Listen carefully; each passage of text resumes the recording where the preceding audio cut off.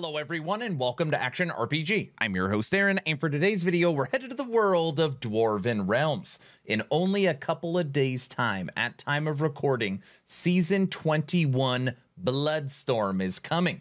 Now as you know I play a lot of games. I've been playing Last Epoch for literally 15 straight days since 1.0 and yes the subathon is still going as you can see above my head, the clock is still ticking. But in a couple of days, I'm going to be switching to Dwarven Realm Season 21. And I've been talking to the developers of this game, and it looks like this is going to be a pretty special season. We will say it is highly ambitious. Now, what we're going to do on this video is we're going to go through some of the notes and what's going to be changing for season 21 and I'm going to play the new trailer for you. And if you don't know what this game is, this is a third person isometric action RPG built on Unreal Engine 5.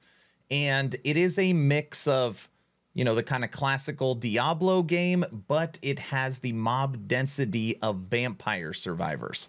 Very interesting game. It literally only cost $5 on Steam, and they are a good team. So I, I love playing the game. I love covering it. And I think this could be the next kind of dark and darker, the next Vampire Survivors, the game that comes out of nowhere. So you'll see it Friday on stream, and we're going to talk about it right now.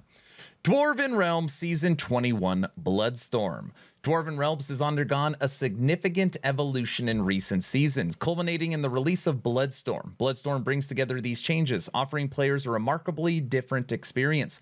With revamped movement mechanics, combat has been enhanced to deliver a more engaging and immersive gameplay.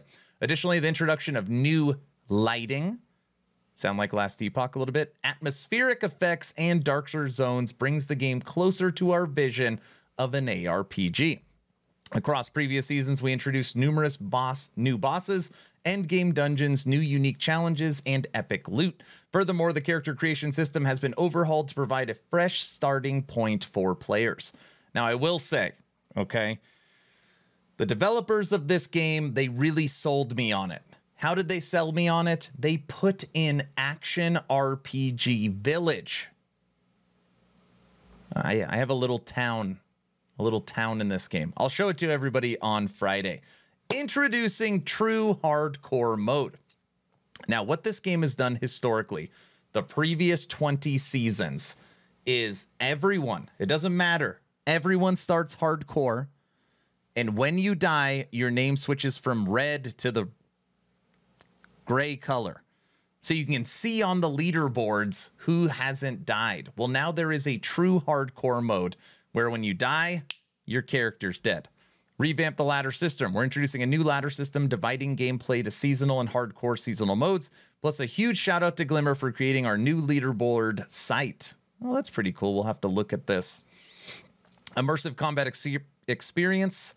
Get ready for more visceral experience as mobs now splash blood during combat. We aim to enhance the thrill of slaying mobs in each encounter more impactfully. Ooh, I'm hoping this does not hurt performance. That makes me a little nervous. There's a million mobs on the screen. Blood splashing. Okay, we'll have to check that out. Enhanced audio. We've completely overhauled the audio system to ensure that all the abilities are accompanied by immersive sound effects. Okay, that sounds good. Improved movement and camera. Experience smoother gameplay with revamped movement mechanics, camera shakes, and camera follow. These changes are still being fine tuned, but contribute to an overall better gameplay feel. Now, for the camera, as a spellcaster, every once in a while would drive me crazy because the angle I needed to get it, it's almost like you're looking up at the enemy. So when I see that, it kind of makes me happy. I'm hoping they improve some of that. Redesigned UI and character creation. Say goodbye to the old and hello to the new. We've redesigned the entire character creation process and UI to provide a more seamless and enjoyable experience. Okay. Epic Home Fort Stations. We've revamped Home Fort Stations, ditching old low poly assets to make your Home Fort Fort feel more epic. Tweaked Elite Slaying rewards. Enjoy more epic loot moments as we've adjusted the amount of containers spawned. Okay, and this is new for last season, so it looks like they're further enhancing it. Uh, of course, level 100 map rewards doubled. Okay, reduce energy cost for Q and R abilities. That's good. Crafting flexibility. All fellowship modifiers and hardcore SSF can now be crafted, crafted on relics. Oh, this is good. So now you don't have to join a fellowship. That's good. New time essence system. Elites now grant much more essence, enhancing the strategic aspect of gameplay. I always try to kill elites anyways. New formula for time essence gates. It now costs more to open Rupture 6 and forward. Revoked container system. We've introduced a percentage chance to get containers even if you kill two elites in a row, adding more variety to the loot drops. I like that. UI enhancements. Discover the new UI additions and changes included in the cute the cute inventory open indicator. Okay, balance adjustments. Rupture 50 now costs much more to open, ensuring a more challenging progression. Oh, that should be interesting for a couple of people I know. New container types. Explore new container types for even more varied loot drops. Bug fixes, crafting changes, and then just a couple of bugs. Oh, charge roll adjustment. Charge roll is now constant but can't be repeated until you land, adding more strategic depth to combat. So, this is a huge season for Dwarven Realms, season 21. There was nothing in here other than Splash Blood that makes me nervous. This game, there's so much on the screen. Third person vampire survivors. So, performance wise, I'm hoping it feels really, really good. And we're going to test out all of this on Friday. This game is ultra competitive. So if you think of PoE, you think of Last Epoch Cycles, you think of Diablo 4 Seasons, whatever game you look Torchlight, this game does a brand new ladder cycle season every four weeks. So it is fast.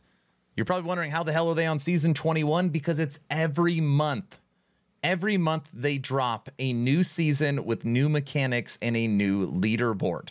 So it is ultra engaging. And I got to say, sometimes it's hard to keep up on. But we are streaming so much and there's so much time left on the clock that we're going to be checking this out for at least the weekend, including Friday for season 21. I'm done please consider subscribing if you think I've earned it. Check out the Patreon, it's the best way to support. First link in the description. And I'm going to leave you with Bloodstorm, the new trailer. Enjoy.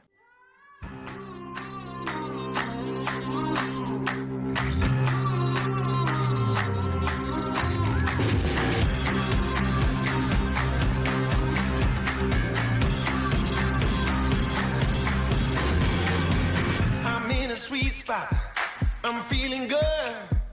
The sun is shining. I knew it would. The world's a playground. I'm in the clouds. Let me show you what it's all about.